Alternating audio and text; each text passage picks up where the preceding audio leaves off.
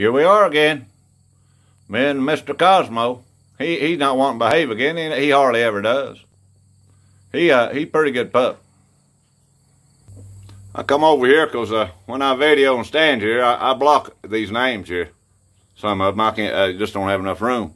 I don't want to leave nobody out. These are the channels. It's uh, give me a shout out. If I've missed anybody, let me know. These are all good channels. They sure are. Here's, uh, I just put these on. They are, uh, like I say, they're good channels.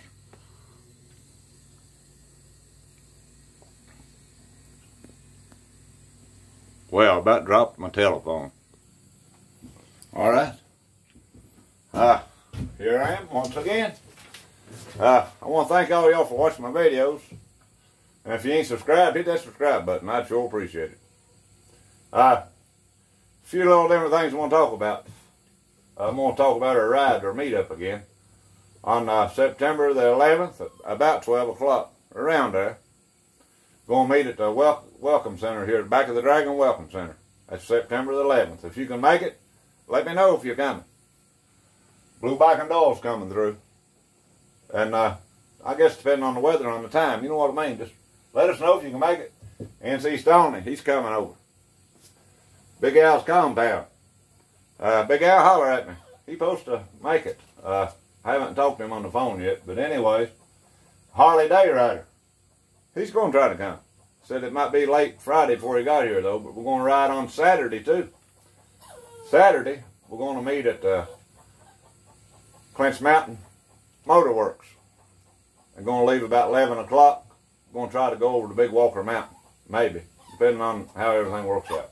May go to Saltville to the museum. It's kind of up in the air, but anyhow, let me know if you can make it.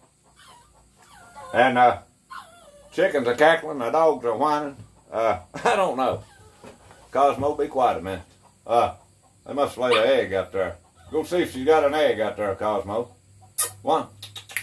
Anyhow, he, he, he really ain't wanting to mind.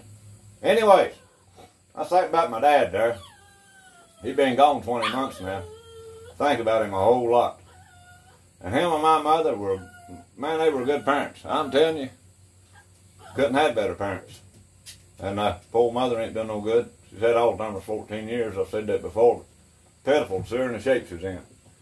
Anyhow, you got to do what you can to enjoy life because, man, you just go crazy. You know what I mean? It's tough taking care of somebody, but I, I wouldn't have her nowhere else. Ain't no way.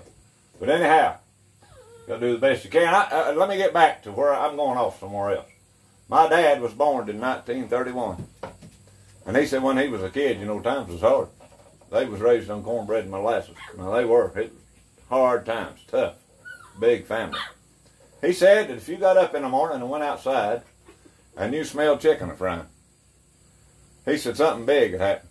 Either somebody died or somebody's getting married. I said, I belong. He said, that's right. I said, y'all had chickens, didn't you fry none of them? He said, very seldom. They traded eggs for other stuff. I said, okay. He said, that's right. He said, if you smell fried chicken, something big had happened. And he said, somebody died, they, they fry chicken up, go knock on somebody's door. They come to the door. So here's your chicken. Sorry for you lost.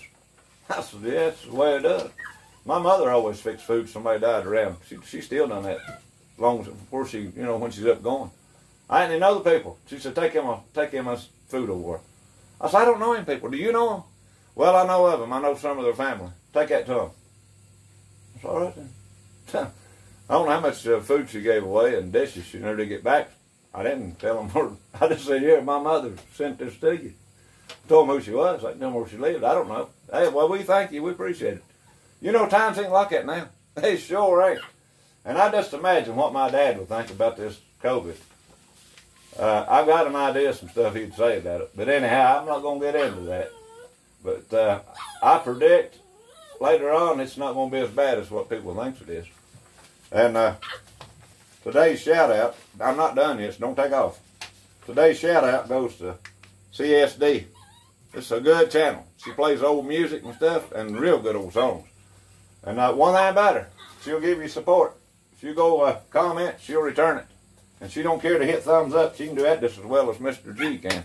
She sure can. So, uh, anyhow, I hope I ain't getting this too lengthy. this little boy, when my dad was growing up, he said this little boy couldn't tell the truth. Lied all the time. And he had a little poodle, about like Cosmo there, and he played with all the time. And he told lies. So the his mother went and told the preacher, said, Can you do something about that? So maybe preach a sermon on it. So Sunday rolled around and church was over. And he said, I want all the kids under 10 to stay in here. Well, everybody left over the kids. There's six or eight of them sat down on the front pew there. He said, I'm going to tell y'all a story, and you tell me if you believe it or not.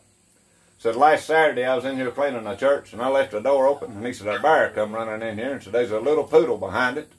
Said it caught it right here and killed it and ate it. He said, how many of y'all believe that? Little Tommy jumped up. He said, I believe it. He said, now son, he said, now, you wouldn't tell a story, would you? He said, I believe that. He said, why would you believe that? He said, now you know, you, you know that's a story. He said, I believe you. I believe you. He said, why would you believe that? He said, because that was my poodle. I don't believe it helped him much. Anyhow, it's been Mr. G, 1965, and we'll catch you later. Uh-huh.